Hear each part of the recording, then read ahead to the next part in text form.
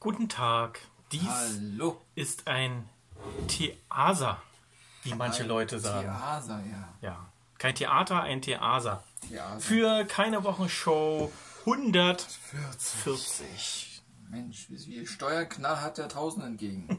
Das äh, dauert noch ein bisschen. Ja. Machen wir eigentlich ein, eine große Sause zur 150. Nee. Nein, abgelehnt. Zur 200. Nee, zu Tausenden. Da machen wir ganz riesig. Da machen wir ein Festival. Zur 1000. sehen wir uns in der O2 World. Nee, so doll nicht. Aber wir machen, Und ja, die- nee, und die- machen, wir machen ein Festival in Krem. Wir machen das äh, äh, keine Wochenshow-Festival und laden da illustre Gäste ein. Freut euch schon mal, äh, ich weiß nicht wann die 1000. Das, ist, äh, das müsste so ungefähr in 20 Jahren sein. Das heißt dann also 2000, also wenn wir die schon fertig, also dann so 2037. Genau, und da machen wir ein großes Festival in Krem. Im Scheinviertel oder so. Ganz toll. Ganz großartig. Hast du eine Idee, wen wir da einladen? Noch mal gucken, wen es Ja. bis dahin so gibt. Ich würde sagen, die Rolling Stones. Die, die sind dann immer noch, ja, ich möchte, ich möchte Mark Forster dabei haben. Ja. Grönemeyer ist sicherlich dann auch noch aktiv. Ja. Ja. Ja. Oder hier, die Jungs von Aerosmith. Worüber sprechen wir in der glorreichen 140. Ausgabe? Wir reden über ernste Dinge, über das, was letzte Woche passiert ist bei den Landtagswahlen. Ja. Ja. Ja.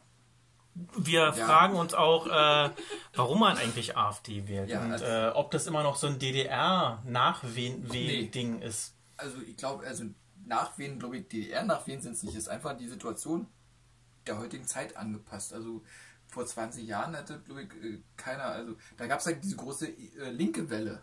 Hm. Also mit, den, mit der Linken. Aber ob das rechts auch funktioniert hätte? Keine Ahnung.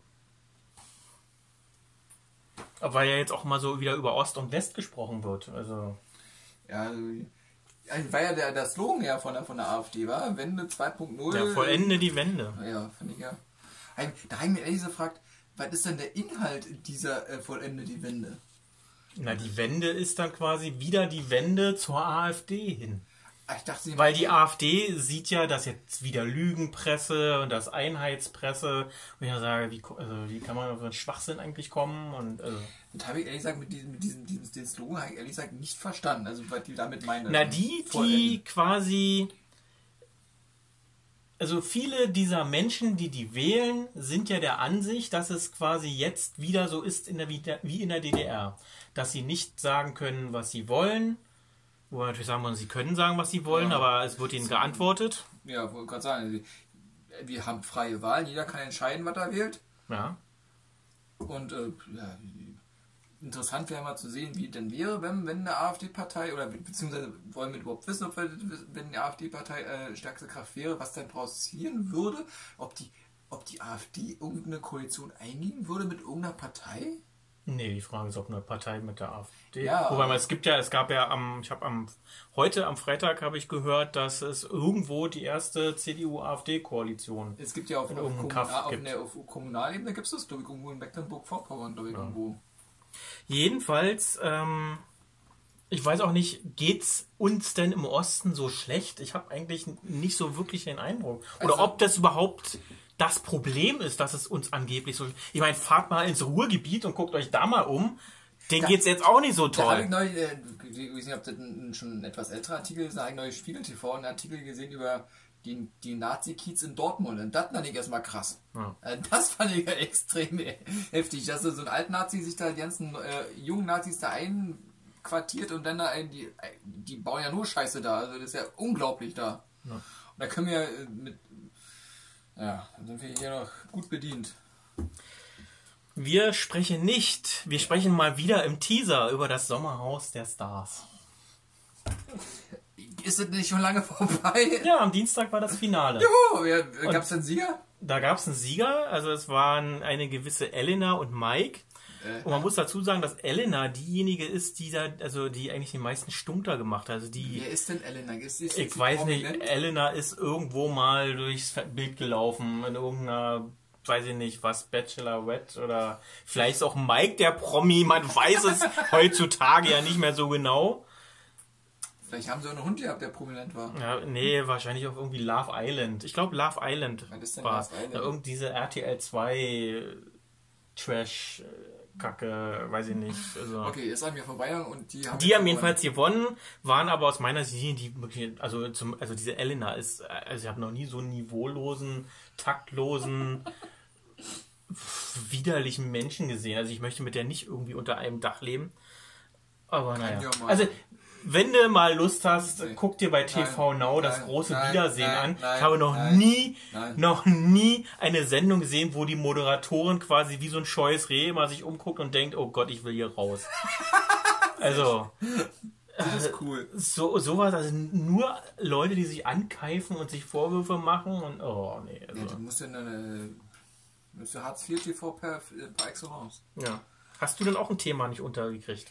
Ich wollte ja eigentlich vorhin äh, in der Sendung erzählen, wie schön das ist, äh, äh, in einen Indoor-Spielplatz. Das äh, hebt ihr für nächste Woche auf. Okay. Nächste, in Ausgabe 141. der Teaser für den nächsten Teaser. Ja, da sprechen wir dann über Feltinchen. Ist das nicht schön? Vielleicht kannst du ja da ein paar Bilder machen, oder? Äh, nee, das darf ich in der. Ja, doch, wenn, nee, da war. Na, du musst aufpassen, dass Ja. jetzt keine Kinder ganz offensiv. Im, Ja, äh, genau. Aber dass man zumindest mal sieht, wie es da aussieht. Vielleicht so. mal ein Filmchen draus, mal gucken. Ja, also musst du halt versuchen, keine Kinder aufs Bild zu bekommen. Ja, das sieht dann nämlich auch komisch aus, wenn da ein erwachsener Mann auf einmal anfängt, da Ja. die Leute zu filmen.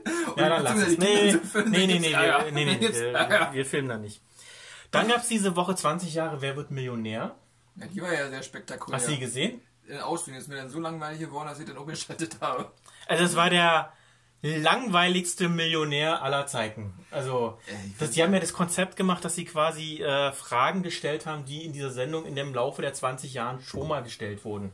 Und dann hatten sie einen Kandidaten, der aber ein großer Fan der Sendung ist und so ziemlich alle Fragen kannte. Und vor allem so, so ein, so, ja, so ein hyperintelligenter, Ja. der, der, der, der Und so hochsympathisch. Ja. So.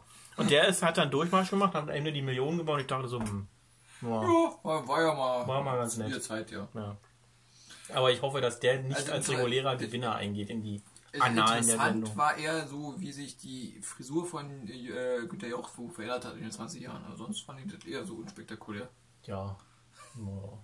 Oder fandst du dir den, den, den Auftritt von Gott, äh, Gottschalk bei Lanz cool? Sich immer endlich mal gesagt hat, wie, wie hat er, eigentlich hat der Lanz ja ein bisschen ge, gemaßregelt, wie man denn am besten mit seinen Gästen umgehen sollte. Hat er? Also ich habe ich hab's gesehen, ich habe es nicht so aufmerksam gesehen. Also ich habe es auch nur nebenbei, aber er hat dann doch irgendwann gesagt, ja, ähm, wie, äh, wie er dann sozusagen mit den Klienten oder mit den Leuten, die hier gerade sitzen, umgehen sollte. Also wie er auf sie aufgehen, auf, zugehen sollte. Fand Also- ich schon sehr geil. Er ist ja nicht, er ist ja nicht, nicht der Wichtigste. Er ist dann gerade, weil er jetzt gerade Bohlen keine äh, Pause hat oder Geburtstag hatte und der hat gerade keine Zeit, dann ist er mal beim Gottschalk dran mit seiner neuen Flamme. Ich habe mir das für ein Buch gekauft. Herbstgold. Ich habe die erste. werde das ab heute, werde das dann nachher ich habe hab oben noch die originale äh, Biografie von ihm, also die, die er vorgeschrieben hat. Ach, was habe ich, hab ich die, die Nee, gegeben? die habe ich, die hab ich selber mir mal gekauft. Als B-Ware. Okay. Aber das ist noch gar nicht so alt. Das Buch. Nee, nicht. Nee, also mindestens zehn Jahre, aber schon. Ja, und dann kann ich, äh, ich weiß nicht, ob ich es empfehlen kann. Also es gab einen interessanten Sechsteiler am NDR, wenn die Dämme brechen. Da ging es darum, dass in Holland ein schwerer Sturm auf die Küste zugeht und quasi halb Holland, die ja an ganz vielen Stellen unter Null Ja. liegen. Und es ging so ein bisschen darum, wobei ich sagen muss, dass sich dann so das, das, die zweite Hälfte der Serie eigentlich mir ein bisschen zu sehr um die persönlichen Probleme dreht. Also ich hatte da schon ein bisschen mehr. Aber kann man sich in der AD-Mediathek angucken, wenn die Dämme brechen. Also wenn jemand mal auf Wenn Netflix, die Deiche brechen, so. wenn, wenn jemand mal auf Netflix mal eine verrückte Serie gucken möchte, äh, hast du die gesehen, die Deichbullen? Nein. Das war ein Scheiß. Also ich glaube, die haben eine vor eine Staffel gedreht und dann war auch Schluss, weil die so schlecht war. Irgendwie zwei Bullen aus, aus Hamburg wurden strafversetzt in so einen Kaff auf, auf Friesland. Aber das ist doch garantiert irgendeine ARD-Serie, oder? Ja, bestimmt. Was war, was war, was, also so skurril, äh, skurriler ging es gar nicht. Also die haben, das Ende wurde nicht mehr aufgeklärt, warum jetzt was ist. Da wurden irgendwelche Leute umgebracht. Die waren, also die haben, Sonntag, 11.30 Uhr, auf YouTube, auf dem Kanal, den ihr sowieso gerade seht. Teilen, kommentieren, liken, abonnieren. abonnieren und bitte Und nicht nicht wieder wieder deabonnieren. Ja. Eine Frechheit. Sich manche Leute so einbilden. Wir Ja? müssten mal so, so einen Schriftzug machen, wo wir nur noch das äh, abblenden müssen und die nicht mehr sagen müssen. Genau, so, so ein Laufband wie bei, wie bei NTV. also oder so. Eilmeldung. Ja. ja, ansonsten, ihr wisst Bescheid und Genau. You got it. Wiedersehen.